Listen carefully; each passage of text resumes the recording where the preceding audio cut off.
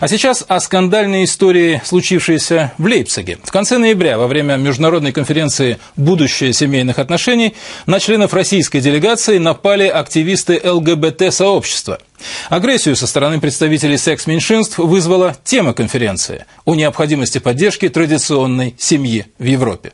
Такие конференции, по их мнению, проводить недопустимо. Это предместье Лейпцига, практически центр старой доброй Европы. Начало международной конференции «Будущее семейных отношений». И тема-то старая и добрая, вот только не всем она здесь понравилась.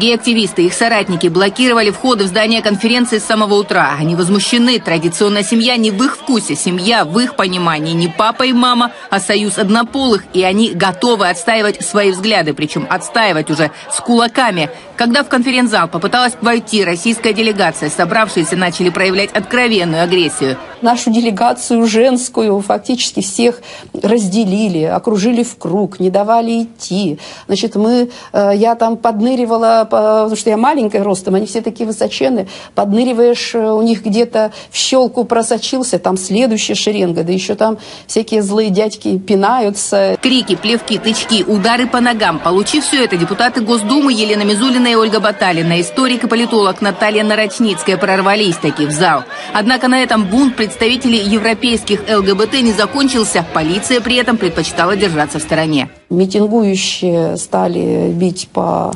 дверям со, стек со стеклом, э, со стены ходуном ходили.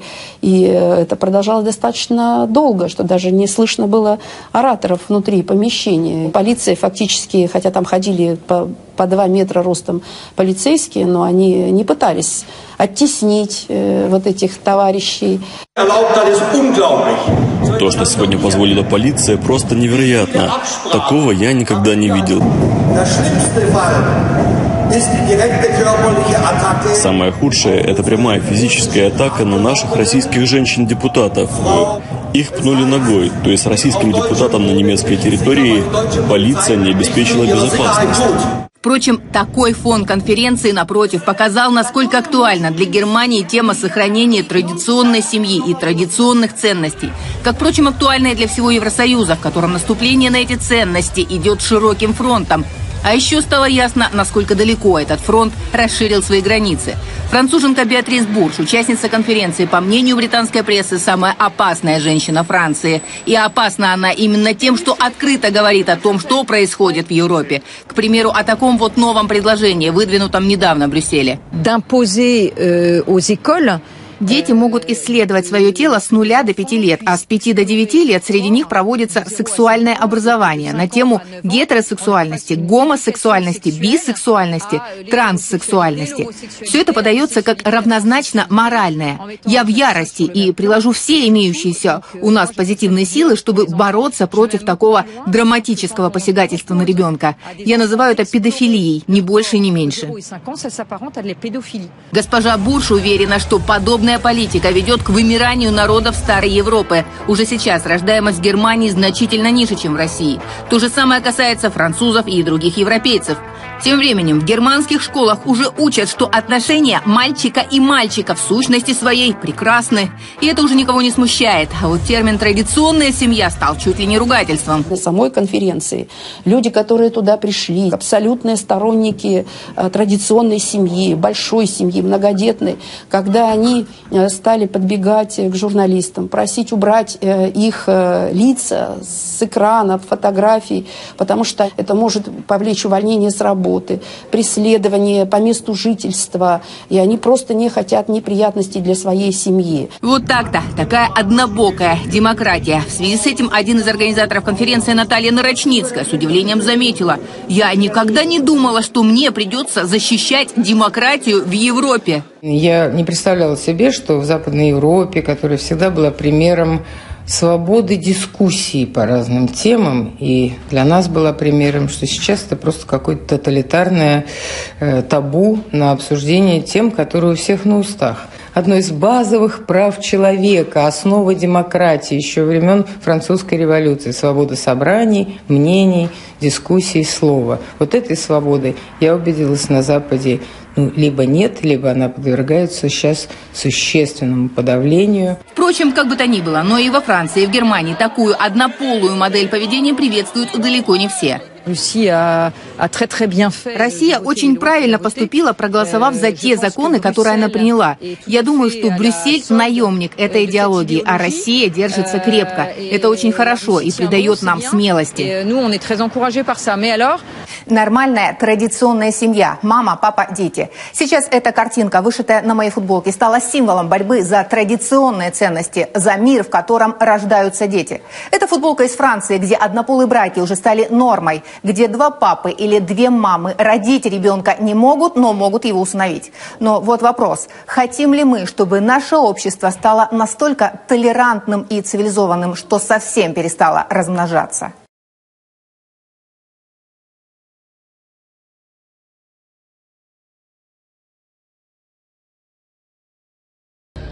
Сообщество геев и лесбиянок Молдовы, находясь под защитой принятого правящими партиями закона, намерено провести 19 мая гей-парад в центре Кишинева. В связи с этим инициативная группа, в которую вошли священнослужители, представители неправительственных организаций и бывшие депутаты, выступила с повторным требованием к властям об отмене закона о равенстве шансов, который, по их мнению, ведет к уничтожению nации. E vorba de niște acțiuni de provocare și noi, ca cei care luptăm pentru normalitate, sigur că nu vom sta cu mâinile în sân. Și de, luând în considerație faptul că trebuie să ne mobilizăm, nu pentru a ne lupta, ci pentru a nu permite virusării societății cu moda homosexuală. Noi deja avem multe, multe deșeuri în societatea asta. Тем временем многие представители гражданского общества, бывшие депутаты, а также священнослужители, высказывающиеся против закона о недискриминации, подвергаются преследованию со стороны судебных инстанций. Как заявили юристы, при принятии данного документа законодатели изменили в пользу лиц с нетрадиционной сексуальной ориентацией обязательность предоставления доказательств. Это является нарушением юридического порядка и здравого смысла, заявил адвокат Раду Бушила. Deci în alineatul 2 este foarte clar indicat că sarcina de a proba cu fapte că faptele nu constituie discriminare revine părâtului, cu excepția faptelor care atrag răspunderea penală. Deci Вопреки многочисленным акциям протеста и под давлением Евросоюза, закон о равенстве шансов был принят 25 мая прошлого года голосами 53 депутатов, членов бывшей правящей коалиции. В рекордное время, уже 28 мая, этот закон был промульгирован ставленником Альянса на должность президента Николаем Тимофти. Закон разработало и настойчиво продвигало правительство, возглавляемое Владимиром Филатом,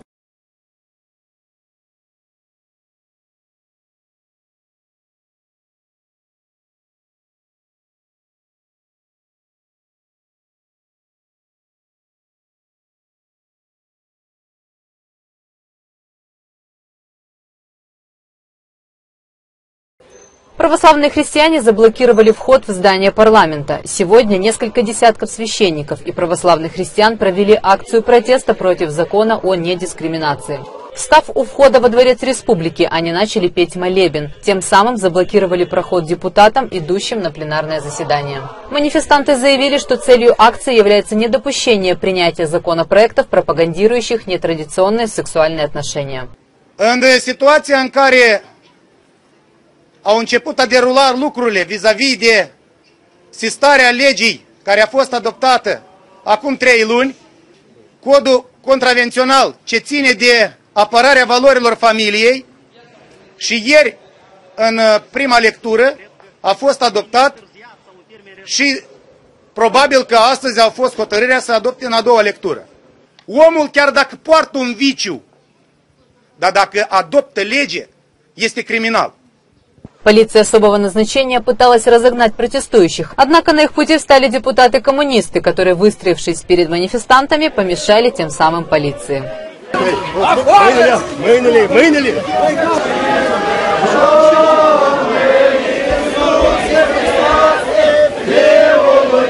Манифестанты заявили, что принятие законопроектов, пропагандирующих нетрадиционные сексуальные отношения, будет на совести самих депутатов. Священнослужители и православные христиане прошли крестным ходом вокруг Дворца Республики.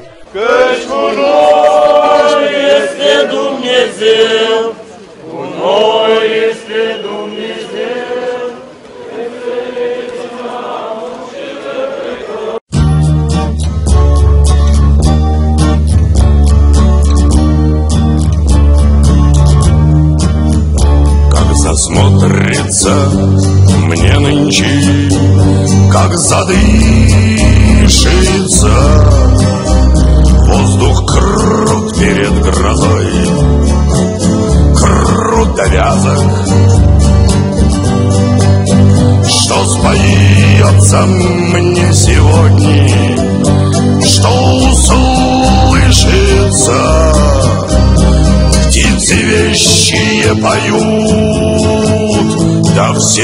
Сказок. Птица силен мне радостно скалится. Веселит, зазывает из гнезд. А напротив тоскует, печалится душу чудной алконоз Словно семь заветных струн Зазвенели в свой черед.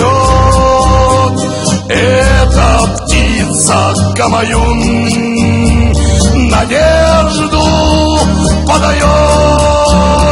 Синим небе проколотом Медный колокол. Медный колокол. То ли возрадовался, то ли осерчал в России кроют чистым золотом Чтобы чаще Господь замечал. Я стою, как перед вечною загадкою Пред великою да сказочной страною. Перед солона да горько кисло-сладкою Голубою родниковою ржаною Грязью чавкая жирной доржавою Вязнут лошади по стремена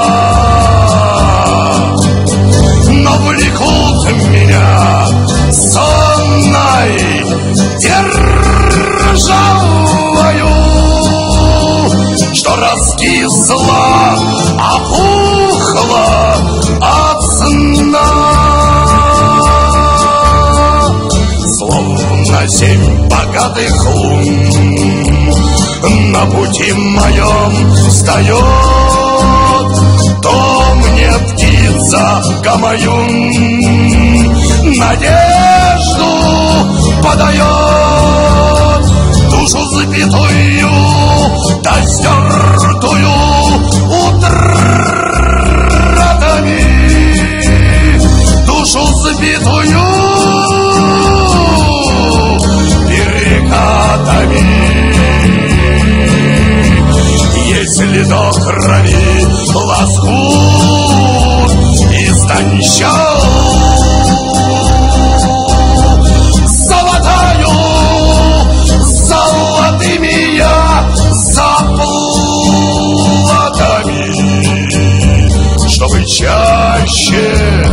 Господь замечал